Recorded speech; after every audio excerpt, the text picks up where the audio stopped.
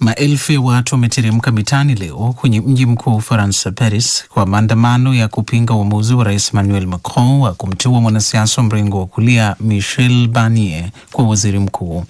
Maandamano ya leo yalikuwa ni kuitikia mwito wa vyama vya mrengo wa kushoto vinavyomtuhumu Macron kuwapora ushindi wa uchaguzi wa bunge kwa uamuzi wake wa kumteua Barnier. Macron alimteua siku Alhamis Barnier kwa waziri mkuu baada ya miezi miwili ya jitihada za kumaliza mkwamo wa kisiasa uliotokana na uchaguzi wa bunge ambao haukutoa mshindi wa moja kwa moja. Vyama vya mrengo wa shoto ambavyo vina idadi kubwa ya viti bungeni kuliko kambi nyingine za kisiasa vilitarajia kupata nafasi ya kutoa waziri mkuu. Uteuzi wa Barnier, mwanasiasa mhafidhina aliyehudumu wakati fulani kama mkuu wa ujumbe wa Umoja wa Ulaya kwenye mazungumzo ya Brexit, umevighadhibisha vyama hivyo na vimeapa kufanya maandamano na migomo nchi nzima. Nairobi. Polisi nchini Kenya imetangaza kuongeza kasi ya uchunguzi wa mkasa wa moto kwenye shule moja ya msingi uliosababisha vifo vya wanafunzi kumi na wanane huku wengine zaidi ya sabini ikiwa bado haujapatikana. Mkuu wa idara ya uchunguzi wa polisi nchini humo Martin Nyuguteo amesema wanaanzisha uchunguzi kwa njia ya vinasaba kubaini miili ya watoto walioteketea kwa moto kwa kiwango cha kutotambulika.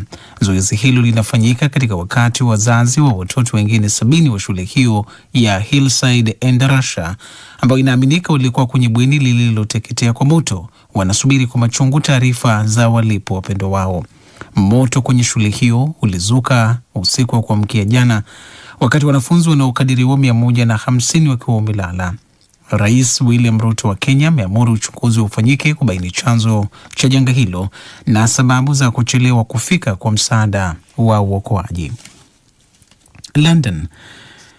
Wakuu wa mashirika ya ujasusi Uingereza na Marekani wamesema leo shambulizi la kuvuka mpaka lililofanywa na Ukraine ndani ya ardhi ya Urusi ni mafanikio makubwa ambayo yumkini yatabadili uzani katika vita baina ya nchi hizo mbili vilivyotimiza miaka miwili na nusu.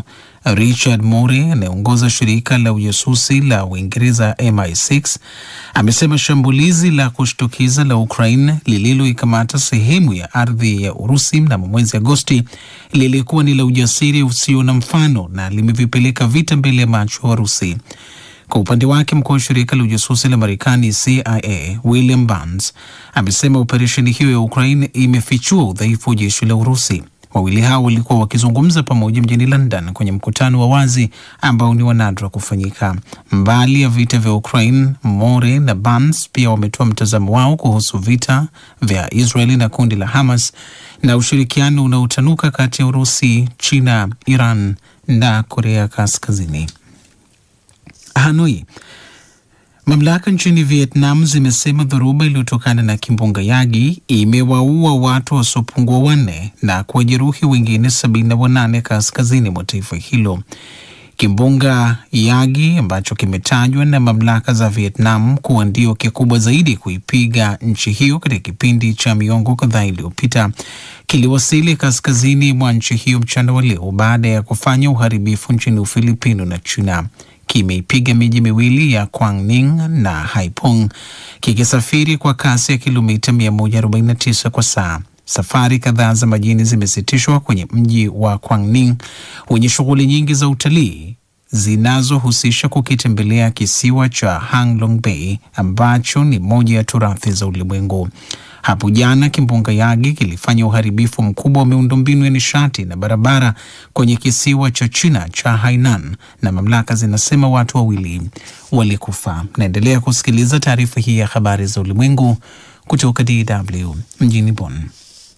Port Moresby. Kiongozi wa kanisa Katoliki duniani Papa Francis aliye ziarani nchini Papua New Guinea amelitolea mwito kanisa kwenye taifa hilo la kanda ya Pacific kuwaweka karibu na wake waliotengwa na jamii au kufanyiwa vitendo vya kikatili. Papa Francis ameitoa rai hiyo baada ya kusikiliza simulizi za madhila wanayopitia wanawake kwenye nchi hiyo ambako ukatili dhidi yao unatajwa kwa zaidi ya mara mbili ya kiwango cha maeneo mengine duniani. Wengi hushambuliwa au kutuhumiwa kwa uchawi na ushirikina na kisha familia zao huwatenga au kuwatelekeza. Baba Mtakatifu Francis amesema ni wajibu wa kanisa kuwaweka karibu waathiriwa wa vitendo vya aina hiyo kwa kuonyesha upendo na kuwafanyia wema. Kulingana na takwimu za Umoja wa Mataifa, asilimia sitini ya wanawake nchini Papua New Guinea hupitia aina fulani ya unyanyasaji wa kimwili au kingono kutoka kwa wenza wao. Algiers. Vituo vya kupigia kura vinaelekea kufungwa nchini Algeria baada ya kufanyika uchaguzi wa rais utakaoamua mwanasiasa atakayeliongoza taifa hilo la kaskazini mwa Afrika kwa kipindi cha miaka mitano inayokuja. Zoezi la kupiga kura lilianza mapema saa mbili asubuhi kwa saa za Algeria na linatarajiwa kuhitimishwa muda wowote kuanzia sasa. Matokeo ya mwisho yanatarajiwa kutolewa kesho Jumapili. Rais aliye madarakani Abdelmajid Tebboune anatazamiwa kushinda muhula wa pili akiwashinda wapinzani wake wawili. Wanaochuana naye ni Abdelali Hassan anayeegemea siasa za dini ya Kiislamu na mgombea wa kambi ya wasosialisti Yusefu Ochiche. Tebune aliingia madarakani Desemba mwaka 2019 kiasi mwaka mmoja baada ya maandamano ya umma kumlazimisha aliyekuwa rais wa nchi hiyo Abdelaziz Bouteflika kujiuzulu. Anatumai safari hii raia wengi watajitokeza kupiga kura kufuatia idadi ndogo ya wapiga kura wakati wa uchaguzi uliopita. Khartoum. Mamia, ya, wafami, mamia ya familia zimeikimbia wilaya ya kaskazini mwa mji mkuu wa Sudan, Khartoum, leo Jumamosi, kufuatia kuongezeka kwa mapigano kati ya jeshi la taifa na wanamgambo wa RSF karibu na kambi moja ya jeshi. Mashuhuda wameliambia shirika la habari la AFP kwamba hali imekuwa tete kwenye wilaya ya Bahri na pande hasimu zinashambuliana vikali. Mkazi mmoja amesema tangu mapema leo asubuhi jeshi limekuwa likivurumisha makombora kuelekea kusini mwa kambi ya Hatabu.